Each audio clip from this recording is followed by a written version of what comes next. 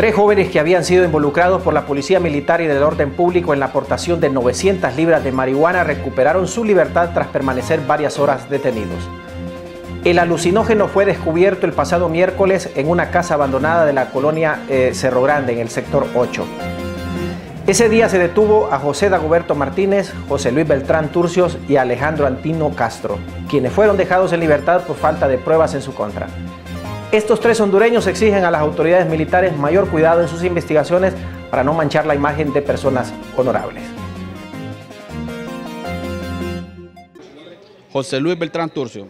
Nosotros tenemos ya nuestra acta donde estamos libres, que no nos acusan de nada, porque somos personas honradas, no somos personas que tenemos antecedentes penales, somos personas que trabajamos desde la mañana hasta la noche para mantener hasta nuestras familias. Creo que un error es de cualquiera, pero aquí lo estamos enmendando con la cara en alto, con la frente en alto, para que nuestras familias se sientan muy orgullosas de nosotros, que venimos de familias muy humildes y que no tenemos nada por qué agachar nuestro rostro porque no somos ningunos delincuentes. Mi nombre es José Dagoberto Martínez. ¿Esto le ha generado, imagino, complicaciones a nivel de sus clientes? ¿Usted qué es Mi, mire, yo tengo una empresita que se llama Alitas Caseras y más.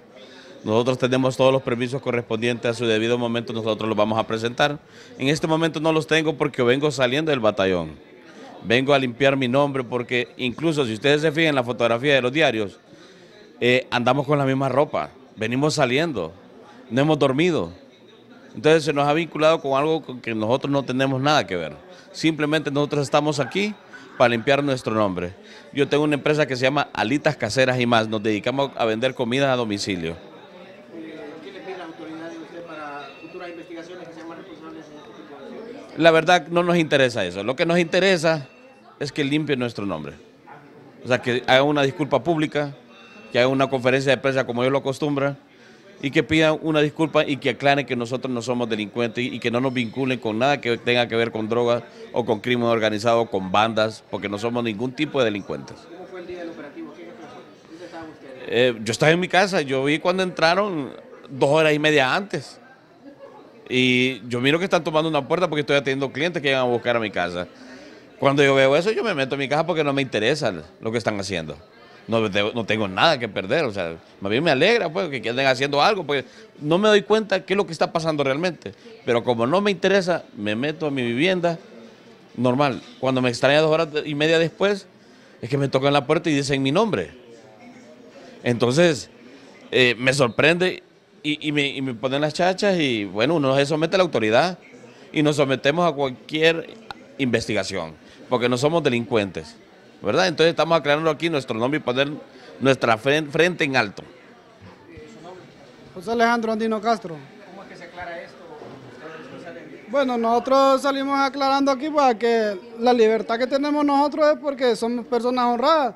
Salimos libres de culpa de todo porque lo que ponen en los periódicos, que sale en noticiero y todo, salimos limpios de eso, pues porque nosotros somos personas trabajadoras a las cuales desde la juventud de nosotros hemos sido trabajadores y las personas que nos conocen, ellos sabrán el saber de, qué tipo de personas somos nosotros, trabajadores. Pues.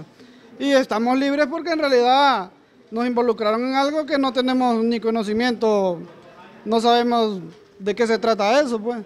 Entonces nosotros estamos libres porque somos inocentes. ha generado mucho problema esto? No, sí, no, nos genera toda la familia de nosotros nos apoyan porque saben que somos personas trabajadoras y, somos honrados, pues nos, hemos dedicado siempre a trabajar y yo creo que las personas, amistades y familias nos conocen y la persona que nos quiera criticar de, eh, otra forma, pues queda a su conciencia, porque nosotros somos personas cabales pues, y no tenemos antecedentes penales, incluso eh, fusionarnos ya nos dejó en libertad porque no tenemos indicios en, eh, en contra de nosotros. Eh, si ellos son responsables tendrían que hablar a favor de nosotros, así como nos, nos pusieron en la televisión con ese montón de fardos de, marihuana, incluso que no, no sabemos ni de quién son, ni, ni, ni, nos compete a nosotros nada de eso. Pues. El, nosotros nos dedicamos a otras funciones, no vendemos drogas ni nada. Pues. A mí me conoce toda la gente que me conoce, me conoce como una persona que ha trabajado en el transporte de taxis y trabajo mecánica también. Y aquí los amigos, yo creo que las demás personas también lo conocen, que él vende comida y él presta un servicio de seguridad en nuestra colonia.